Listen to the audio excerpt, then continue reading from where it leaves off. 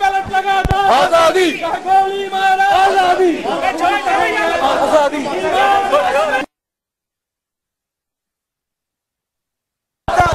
उम्र लेगा। आज़ादी। जहाँ चलेंगे। आज़ादी। भारत से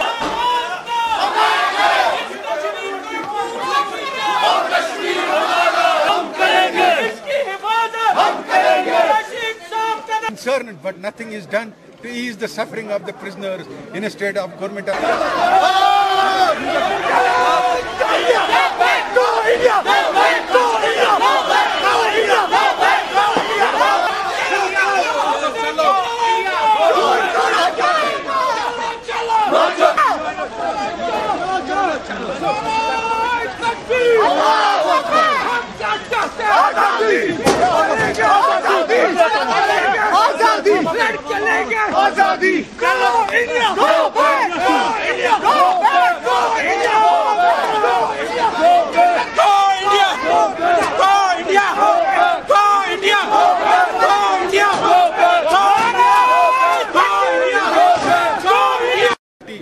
Kashmir and recognize the importance of a peaceful resolution to this decades old dispute. In a state it is using methods of coercion suppression and arm twisting tactics to deny the people of Jammu and Kashmir their legitimate right of self-determination. We appeal to your good self and through you to all the member nations of United Nations to take serious note of the prevailing situation of Jammu and Kashmir and stress upon the government to respect the right to peaceful assembly which is a fundamental right.